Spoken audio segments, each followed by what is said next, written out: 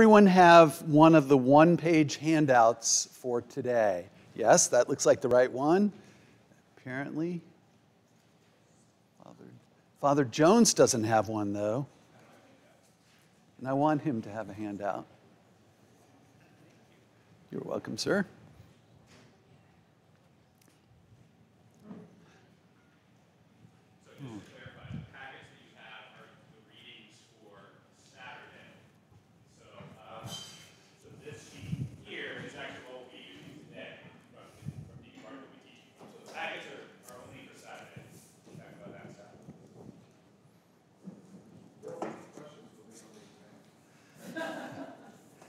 It's, um, I'm going to give you all, I'm going to give you all the answers to the exam, Sam, you know, as part of our special learning program.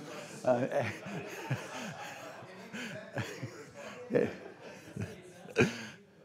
Story, did you need a handout? Or, okay, good. All right, let's begin with prayer. The Lord be with you. Let us pray. O Almighty God, who pours out on all who desire it the spirit of grace and supplication, deliver us when we draw nigh to Thee from coldness of heart and wanderings of mind, that with steadfast thoughts and kindled affections we may study and worship Thee in spirit and truth. Through Jesus Christ our Lord. Amen.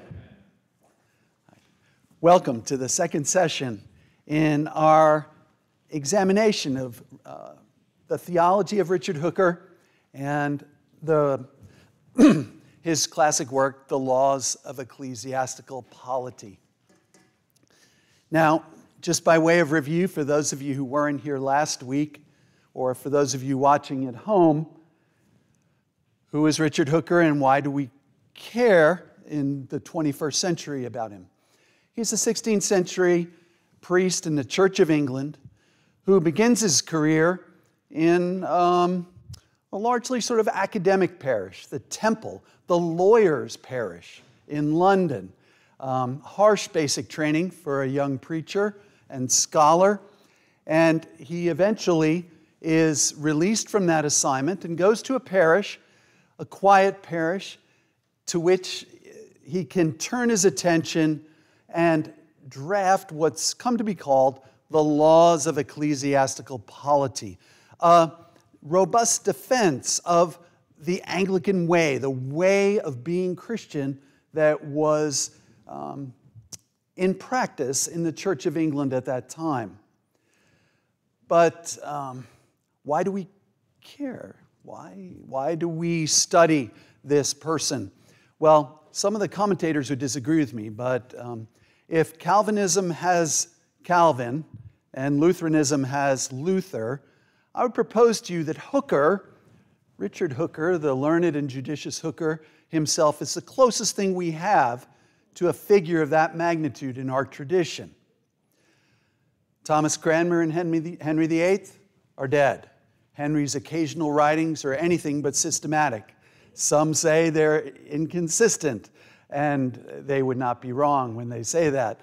Um, the second generation, Edward VI and uh, John Jewel and Ridley and Latimer and the other Anglican divines of the early Reformation, dead either through execution or natural causes later down the road.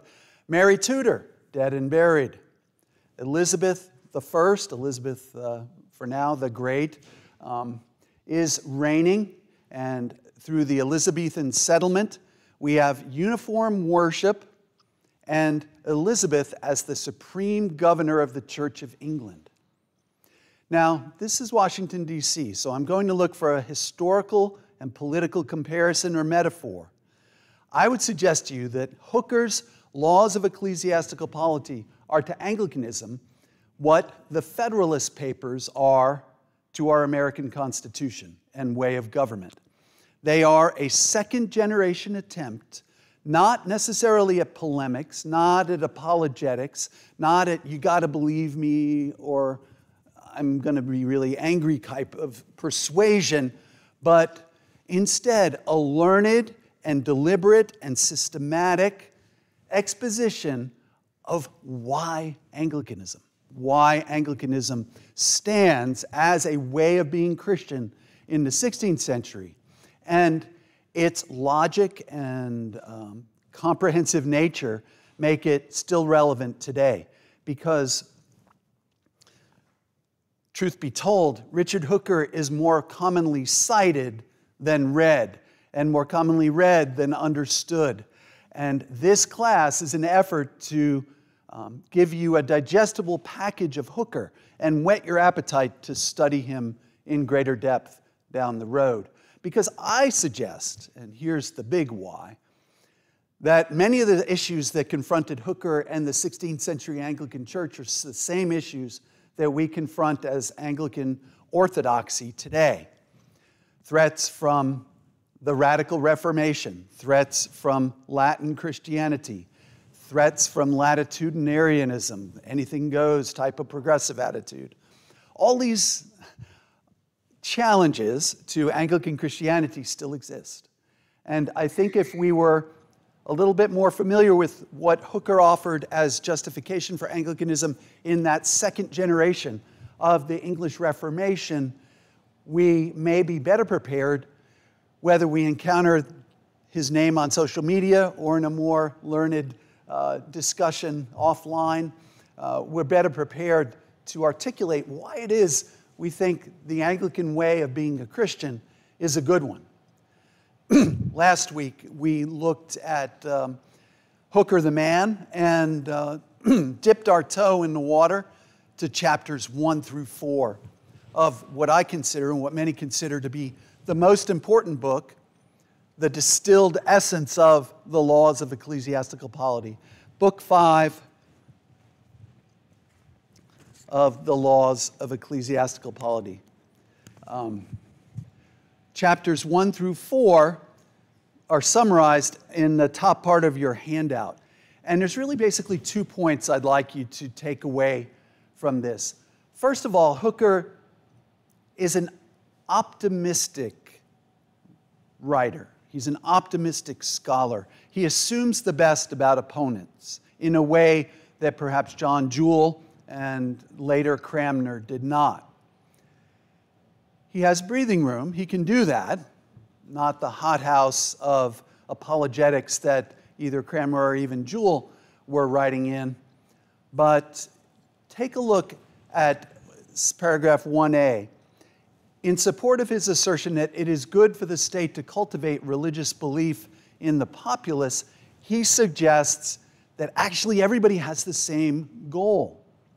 All the different parties that are jockeying for position in the Reformation English church Actually, all of them want to have such laws and ordinances in the church as may best serve to abolish superstition and establish the worship of God in a perfect or more perfect form. And he would go further and say that the individual obligation that everyone is seeking to worship God, to obey Him, is the same as far as the inner person. But where the parties differ most profoundly, Hooker suggests, is in outer solemn worship and service. Um, the liturgy, the worship embodied in the Book of Common Prayer, is the source of our present disagreements, he says, then and maybe now. And the reason for this disagreement is the Puritans, those who sought to purify the Church of England even more than had been done under Cranmer, under Elizabeth, and um, but to continue the reformation of the church, assert in Hooker's assessment that the Book of Common Prayer and the liturgies in it, the worship practices, are filled with false uh, falsehoods and stained with superstition. The text I'm using in this handout comes from Mr. Secor, Dr. Secor's modernized English version of Book 5. Um, but it is um, a good modernization. Um, it is not Bowdlerized in any way. Um, it is um, it captures the essence of Hooker's concern and the Puritan argument.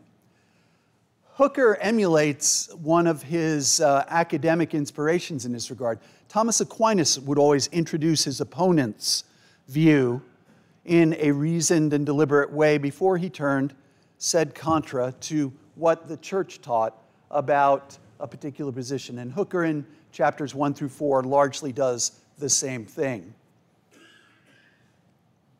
So, in the chapters that we're going to consider today, Hooker is talking about worship. Chapters 5 through 10 of Book 5 are primarily about what we do in the sanctuary and nave in every one of our worship services.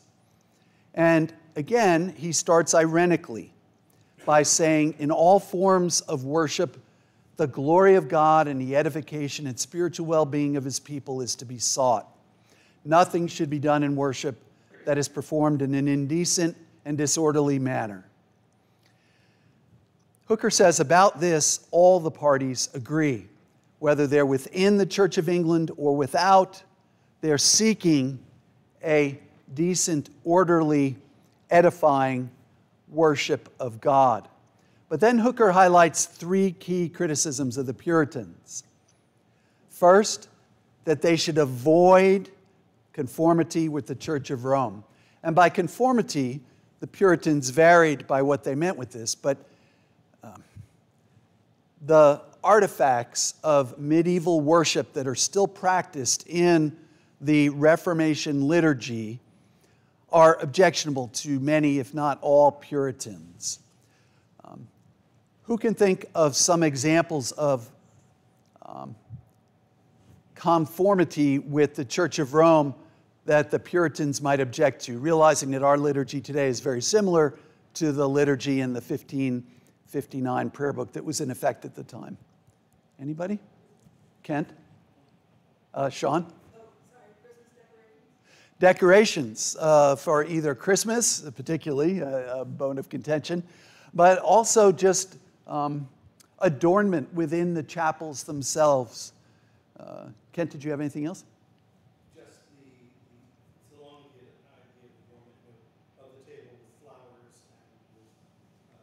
Candles, crosses, alike. Exactly. Vestments were objectionable to some. Exactly. Anybody else? Uh, go ahead. Yeah, or representations of any sort. Yeah, some even objected to stained glass windows at the time. Uh, right? Uh, the, the muscular nature of uh, Anglican worship. Um, it's particularly kneeling during the receipt of communion. Uh, Father Jones. Yeah. Uh, and not only the ring and the signing of the cross um, during baptism and elsewhere, but the, the entire liturgical apparatus around them, to some, was objectionable. Um, why be married in the church, even? I mean, it, it became issues. Um, the significance of one day versus another for Puritans was something about which they argued and said was a medieval artifact. Uh, Kent.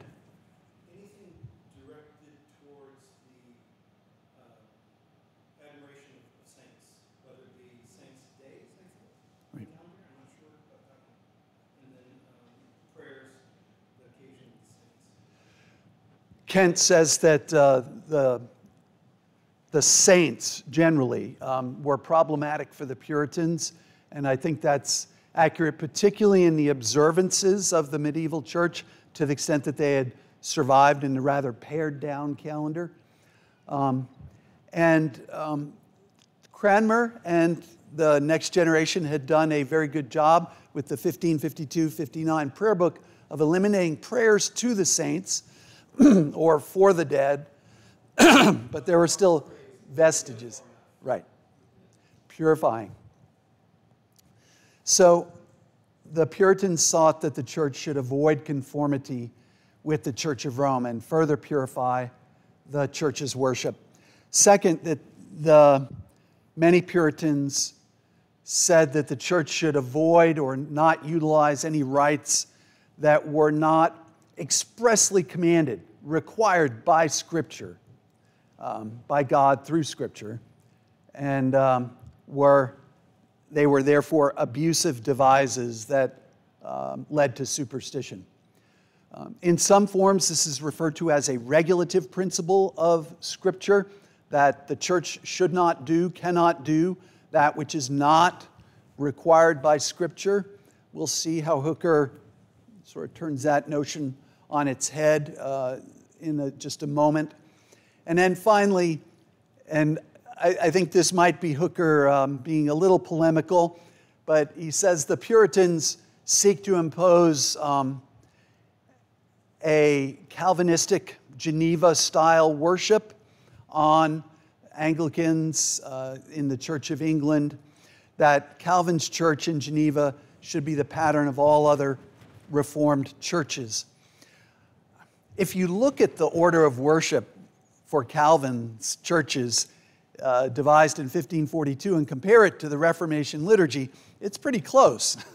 um, Calvin introduces uh, metrical psalm singing. Uh, he introduces extemporaneous prayer and he objects to fixed prayers. But there's a lot of similarity here, and I can't help but wonder if um, either Hooker's stretching to make a point or if the Calvinists who are arguing in beha- in, on behalf of a Geneva style worship haven't really looked at the Book of Common Prayer and compared it to the way Genevan Calvinists are, are worshiping. That's the stage. Hooker responds with five propositions. Chapters 5, 6, 7, 8, 9, 10 are really five propositions um, in response to the Puritan argument. This is one of the confusing things about Hooker. Hooker will state his opponent's argument but not let the opponent's statement of argument control his answer. And while he says the Puritans have three objections, he gives five responses, and they don't line up perfectly. So bear with me as I try to um, synthesize Hooker's response to the three Puritan objections that he cited previously. But Proposition 1 is pretty simple says that the goal of Anglican worship, the prayer book Christianity, is to advance in godliness. And he proposes that those practices that are apparently fit to advance godliness and can be generally demonstrated to do so by a means that we're going to explore shortly, uh, may be reverently entertained, notwithstanding some few rare and tolerable inconveniences. So, the church has discretion to pursue godliness in its worship. This is not the regulative principle. This is an expansive interpretation of the church's mission to worship God. Proposition 2 is similar. The argument that we've always done it that way that a practice is medieval in origin or patristic in origin, dating back to the apostles, does not make it inappropriate for inclusion in present day liturgies. In other words, we need not discard everything that went before. Where it's not immediately apparent nor easy to demonstrate why certain religious practices are inappropriate, we, the church, may lead people to think these religious rites of ours are at least not unsuitable, and that we do so by reference to the judgment of history, as long as our opponents are unable to show any significant inconvenience in observing them or strong objections to them. Strong, reading persuasive objections to them. More about that concept in a minute. I think these first two propositions are dedicated to objection number one that um, Hooker attributes to the Puritans that the Anglican worship uses Catholic artifacts. And he says that's okay. If it advances godliness and um, notwithstanding the fact that it's the way the Catholic Church did it and other Christians before the Reformation. the online satire of Protestant belief is that the church went off the rails in AD 33 and returned to forward movement in 1517 or thereabouts in Wittenberg with Luther's uh, commencement of the Reformation. You can place the date and place differently, but um, Hooker is articulating the position that becomes the standard Anglican position that no, we can learn and emulate the church fathers, patristic practices, even medieval practices, as long as they advance godliness. And not only advance it, but are apparently fit to advance godliness. The next point is um, perhaps the most important point we're going to cover today because in chapter 8, Hooker introduces a concept and a way of evaluating whether things advance in godliness and whether the legacy of history is enough to justify something going forward. He introduces a method of examining these practices that has mutated and taken on an entirely new form and energy in today's world. And if you visit Twitter or other forms of social media, uh, you uh, may recognize this methodology, um, although you won't necessarily uh, see it as uh, phrased identically to what you encounter online. But chapter 8 is still with us today. And if you read one chapter in these chapters for this week, I commend chapter 8 to you. In chapter 8, Hooker proposes that where there is neither evidence of any divine law nor the strength of any invincible contrary argument discovered by reason, nor any notable public inconvenience caused by ecclesiastical laws, even if they're brand new, bolded in your handout, then the authority of the church alone is sufficient to order services of worship and related practices. I want to unpack that in a form that might be, number one, more readily understandable and is more commonly encountered in today's rhetorical environment. The first part concerning Scripture. In all such matters, whatever Scripture clearly sets forth has first priority, both as to authority and required obedience. This is a nod to the regulative principle. Hooker says if Scripture does require it, or is the practice is necessary by way of implication from Scripture, that has first priority, both as to authority and obedience. So he starts with Scripture.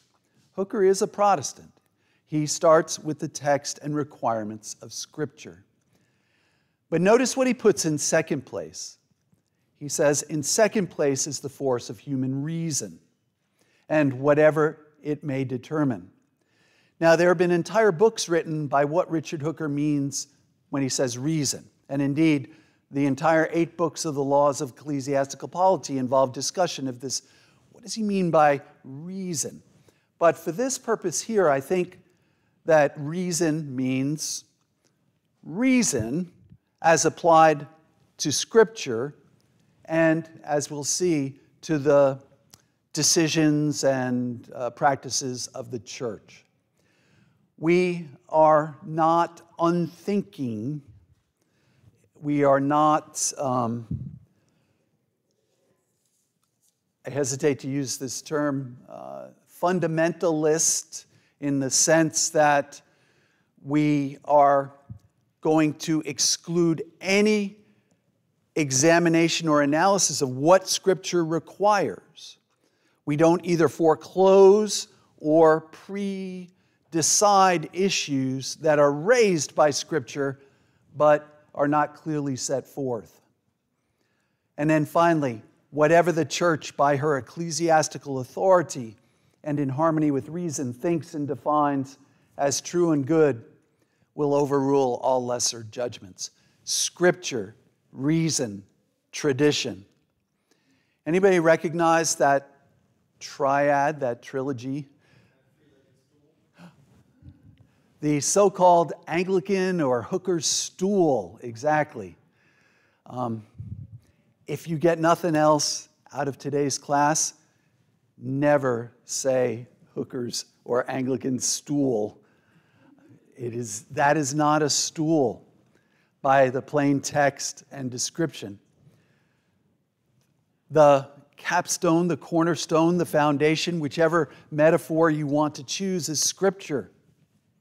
And Hooker, um, I, I, think the close, if he were to choose a, um, a metaphor, I think it would be a pyramid of some sort, but it would not be a stool that implies that these three things are somehow equal. Because the longest leg in the stool, the most solid foundation is Scripture. And whatever Scripture clearly sets forth has first priority. So uh, it is not a three legged anything, it is a conceptual foundation grounded in Scripture that examines practices in light of Scripture using reason and to make decisions within the church. And here we begin to see a little bit more about what, script, what Hooker means by reason. He doesn't mean private judgment. All three of these are important, they're just not equally important. I think of the way that Augustine describes the Trinity. Augustine describes the Trinity as grounded in the Father and the Son.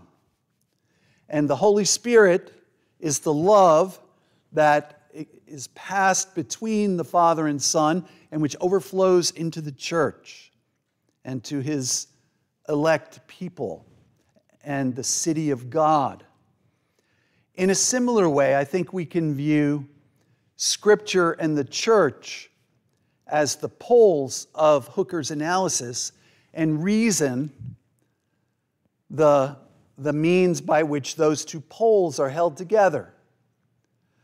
The church uses reason to examine Scripture to determine what's required in Scripture. Likewise, believers and the church can look at Scripture and examine critically sometimes, but other times to determine a way forward what the church is doing. And in this way, we don't have a, a stool, we have more of an organic, um, interactive way of being the worshiping church. And I really want to emphasize this point because if you've encountered the three legged stool either on the internet or in arguments at the water cooler at school or in Bible studies, you know that many people try to apply this to everything to doctrine, to uh, fundamentals of the faith, to scriptural interpretation, and the like. But Hooker is very clear about what he sees this for. Remember where this is. He's talking about worship. He's talking about worship here. And I want to read his um, traditional English so that there's no way you can misunderstand what he's saying here, even though it's in Elizabethan English. We therefore crave, thirdly, to have it granted that where neither the evidence of any law divine, nor the strength of any invincible argument otherwise found out by light of reason, nor any notable public inconvenience doth make against that which our own laws ecclesiastical have, although but newly instituted for the ordering of these affairs. Okay, that's his throat clearing. The very authority of the church itself, at least in such cases, may give so much credit to her own laws. I'm sorry. I'm in the wrong highlighted paragraph. There we go. It is not for a man which doth know or should know what order is, and what peaceable government required to ask, Why should we hang our judgment on the church's sleeve? And why in matters of order more than in matters of doctrine? The church hath authority to establish that for an order at one time, which at another time it may abolish, and both it may do well. And here's the key point But that which in doctrine the church doth now deliver rightly as a truth, no man will say that it may hereafter recall and as rightly avouch the contrary. Laws touching matter of order, that is, worship, are changeable by the power of the church. Articles concerning doctrine, not so. So, the so called Anglican stool that's invoked by progressives, Anglo Catholics, evangelicals, latitudinarians, almost everybody has at one time or another invoked the um, Hooker's stool uh, in defense of doctrinal change, and it is not for doctrinal change. It is to evaluate the church's order and practices in worship. The um, last two propositions are um, minor in compared to what's gone before. Hooker suggests in Proposition 4 that, notwithstanding all this, that the church has the flexibility to waive the application of certain good laws rather than bind everyone strictly and inflexibly to them. The church can, in discretion, allow variety in ceremonies and rituals and the like. And then finally, Proposition 5. Not all opinions in the church are created equal. Hooker suggests that the church applies a strong presumption that people who come forward and suggest that uh, there are private revelations to be had about how the church should worship, how the church should order itself. We see a strong presumption that God has not, in fact, spoken to the hearts of those who make such claims because He's not given them the ability to prove their assertions. So, if you claim private judgment, if you claim that you've got a better way to worship than the church has decided, Hooker suggests that unless, like the, um, the approach suggested by, uh, in, to the Sanhedrin in Scripture, well, if it's of God, it will work, and if it's not, it won't, uh, is, is a good method of evaluating the Puritan claims. If they were meant to persuade us, they would persuade their bishops. The bishops are godly men. The parliament is serving the supreme governor of the church still at this point. Um, the presumption is that if they cannot claim a persuasion of the bishops, the, the leadership of the church, and the king's parliament, then, and the king in parliament, then it's not to be given weight. You can't just go and implement that in your local parish. I conclude with a sort of um, extreme summary of what Hooker has attempted to do in chapters 5 through 10, but I reiterate it because I think it's really important in light of chapter 8 to realize that he is talking about its forms of worship. This is Hooker setting the stage for the many chapters that we'll study this fall about the particulars of worship why we sing, why we read scripture, why we listen to sermons, why we have communion so frequently, and otherwise. I, um, it is not talking about development of doctrine. It is not talking about doctrinal reformation. The book five of the Laws of Ecclesiastical Polity is talking about the church's worship, why we do what we do when we come together to worship God. Now, we have some time left, and I want to uh, open it to questions because I see some scrunched eyebrows and the like, but uh, see some arm spasms and uh, preliminary gestures at uh, questioning. So, anybody have any thoughts, comments, or concerns about what I've shared about these chapters in Book Five of the Laws of Ecclesiastical Polity? Kent?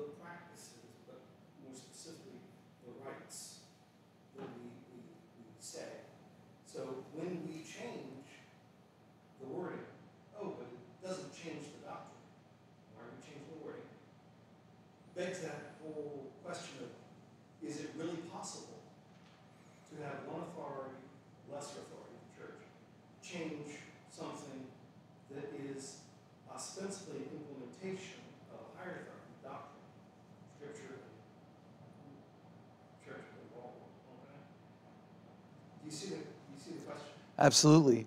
Kent points out that, um, or suggests that Hooker's distinction between doctrinal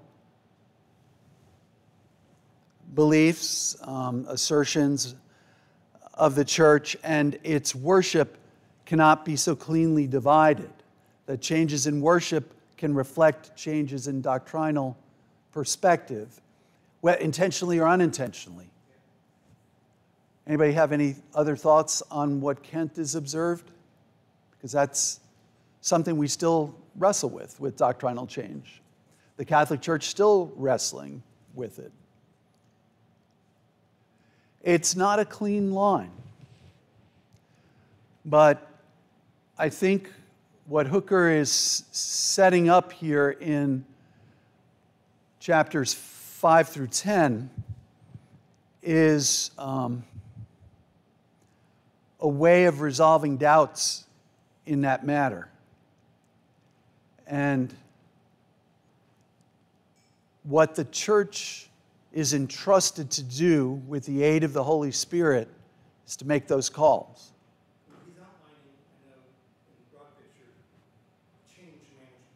Right.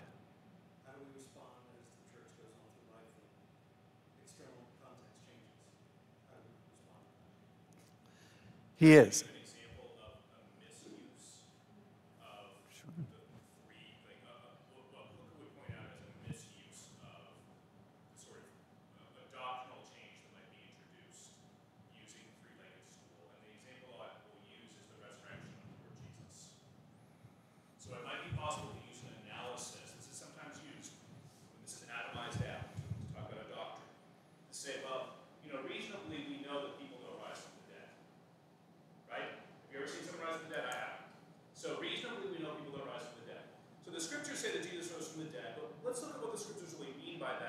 That's just sort of a traditional story that the church had developed to describe new life and the way that Jesus brings new life.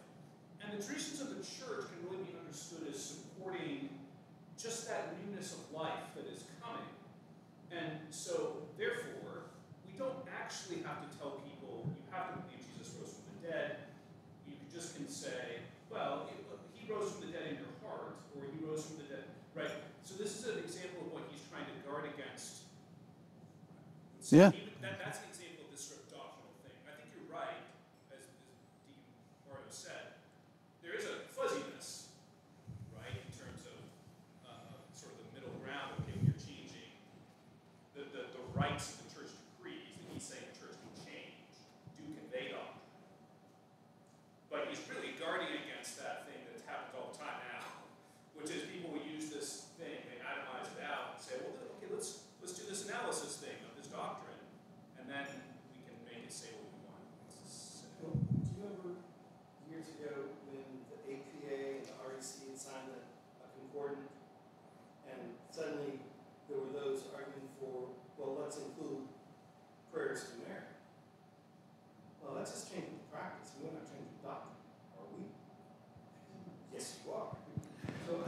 mean, that, that's, that's the problematic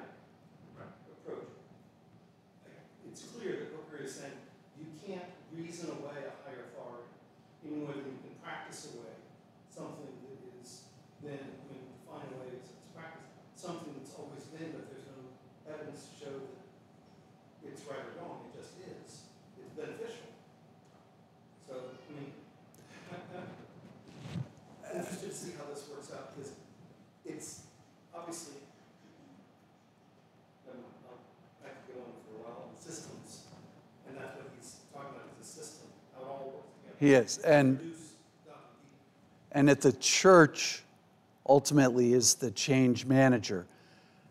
And remember who he's writing to or against. He's writing against Puritans who want a governance not by bishops necessarily, although some do, are willing to, some are bishops, many are bishops at this stage.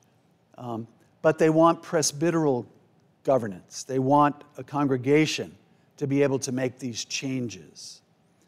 They want the freedom of the faith to exist at the congregational level under the governance of presbyters, hence the name Presbyterian, which is applied to many of the Puritans in their sort of fully blossomed form in the 17th century.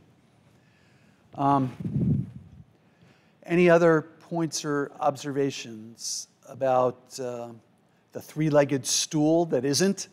Uh, Josiah? Right? So I would say that that is a confession.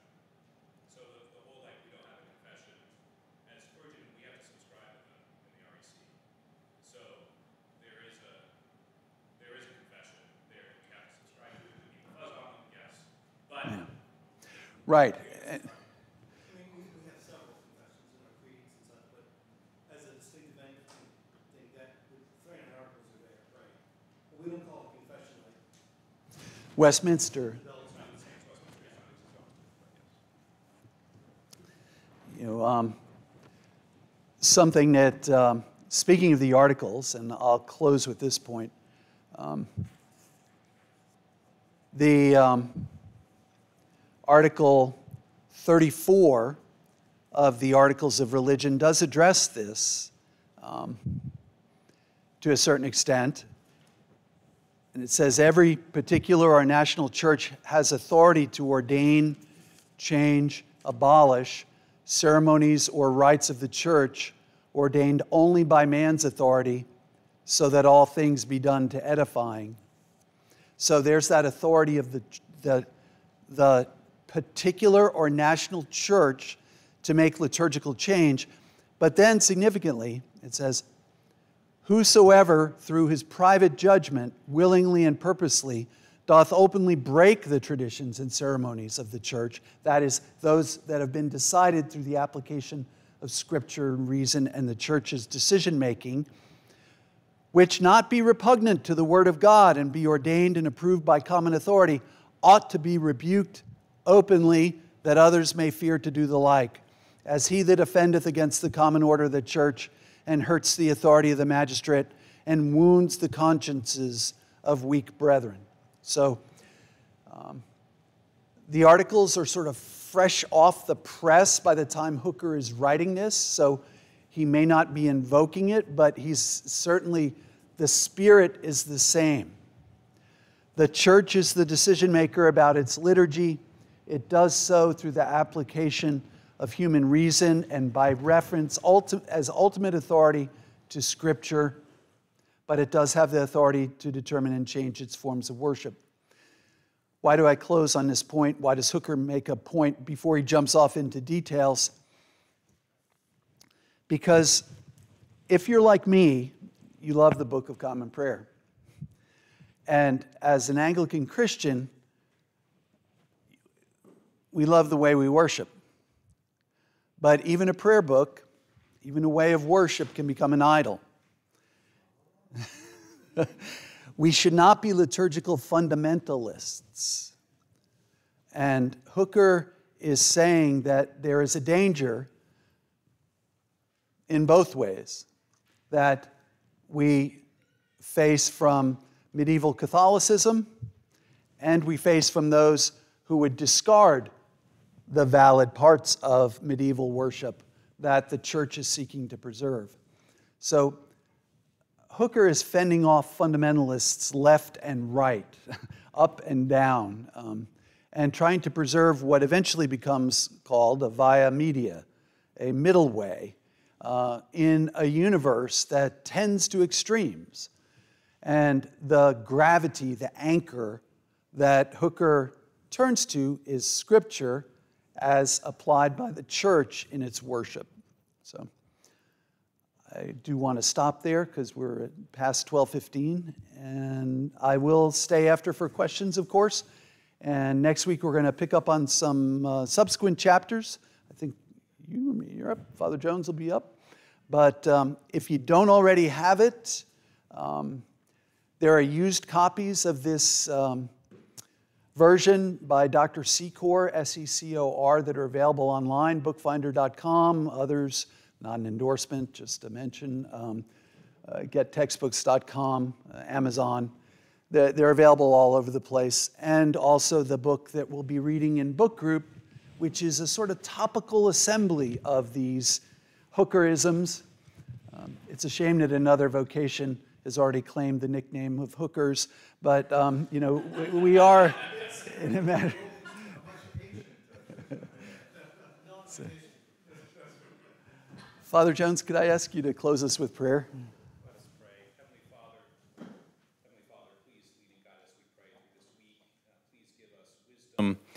And please fill us uh, with love for you and for one another, that as we work, as we um, spend time with our loved ones, and um, as we do all the things that you've called us to do this week, that you might lead us by your Spirit, that we might bring glory to you in all that we do.